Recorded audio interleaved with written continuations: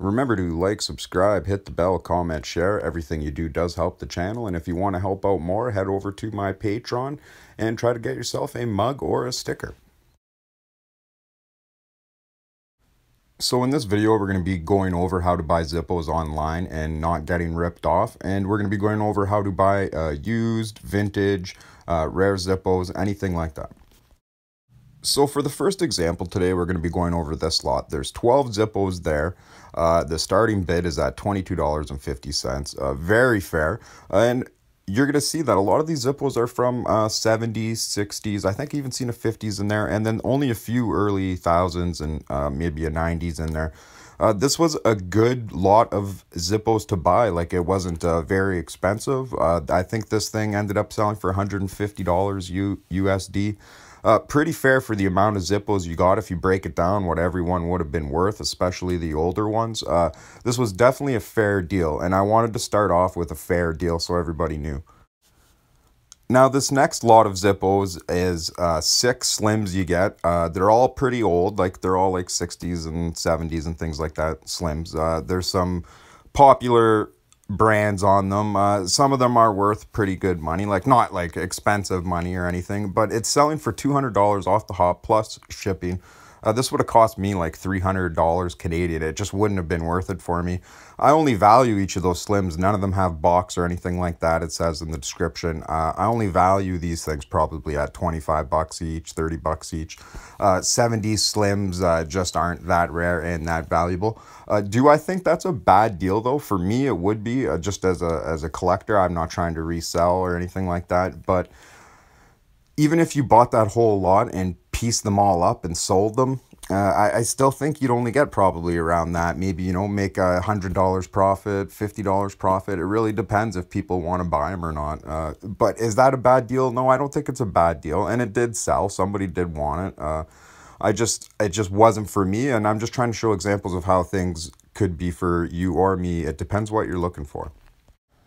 All right, this next lot is just a bad pick for me. The title claims that these are all vintage rare. Uh, there's, what is there? 10 Zippos there. And, uh, you know, none of them really that vintage, that rare. And he wants 200 bucks for the whole collection. So at 200 bucks, you value each of those Zippos at 20 bucks. But uh, I don't think a regular early thousands or late 90s Bradford USA Zippo is worth, uh, you know, 20 bucks each, 30 bucks each. I really don't think they are, you know, used especially, they're only probably about 10, 15 bucks.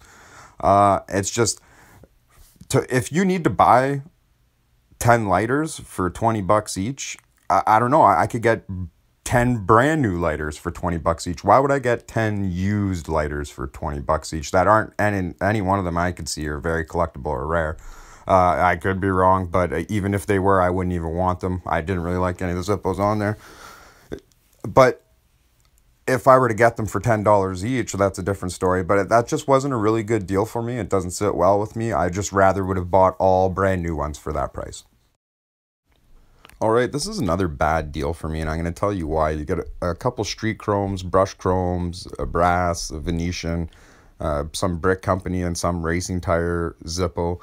Uh, for $200 American for this lot, uh, for eight Zippos, it's not really worth it for me. This would cost me $300 Canadian, and uh, it just it, it doesn't make sense. Like I said, for that price, for eight Zippos, I, I could get all brand new, better ones than this. I None of these are rare, vintage, or collectible. Who cares if they're never fired? They're uh, Zippos nobody wants, very general, run-of-the-mill Zippos. I just I totally don't agree with uh, lots like that. So be very aware. Don't I, I wouldn't purchase that. If you just look at how many Zippos there are, what the price is, and if it's 20 30 dollars a Zippo for just 10 year old, 20 year old Zippos, it's not worth it. It's you would I'd rather just buy brand new ones. But why would I get those? They're not vintage, they're not collectible, they're not anything.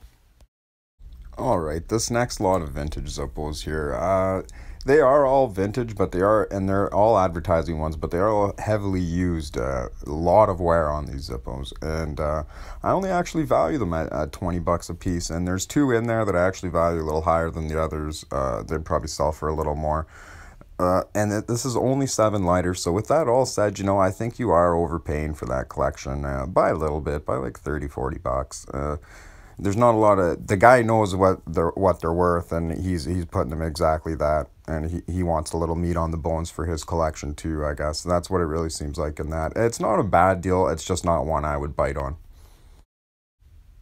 This one here the guy was very fair on. He started it off at $16 and uh, i think it only ended up sending for 50 70 bucks or something like that. Well worth it. All actual vintage lighters uh, you got a variation of them uh, for anyone collecting. They are heavily used. That's why I went for cheaper. Uh, this was a fair.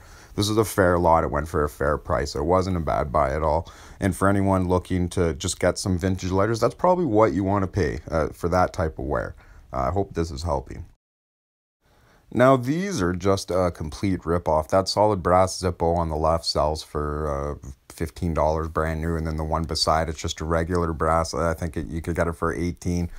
Uh, th- these are selling for eighty dollars American plus shipping. Uh, what a bad deal this is for that much money. I can buy four armor high polished brass Zippos. Why on earth would I get two?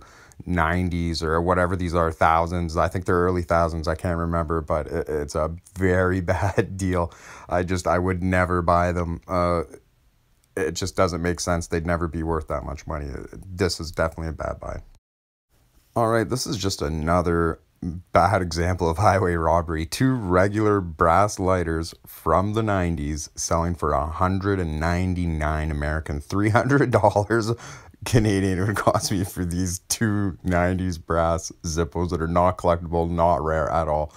Be beware of things like this. You're going to see this all over the internet of people trying to get more than what the lighter's actually worth. And now to some of the most scammed lighters on the internet, the Niagara Falls. I don't know where these prices come from. These are just absurd. Uh, none of these are worth any of these. This one is not worth that. I would never pay for that.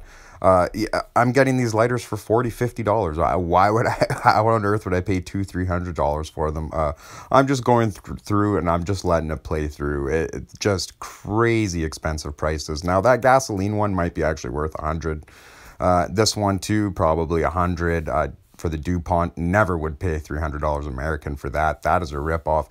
A lot of the Zippos I'm showing you here, guys, are still online. I took these pictures a month ago. If you go, if you type in Niagara Falls Zippos on eBay, all these Zippo shows. This Canadian flag one that you just seen there, it shows up so many times. How So how is it being defined as rare as every six Zippos, it's that Zippo for sale? Uh, and a lot of these too, you just see overpriced. You've seen $100 for a measuring tape. Uh, Limp Wicks got one for 20 Why would I buy that? This one right here would cost me almost $400. It's in British pounds. I emailed the lady and she actually told, she actually uh, complained and sweared at me for even telling her that it wasn't worth that. I paid $10 for that Zippo, by the way. So, and now we're going to move on.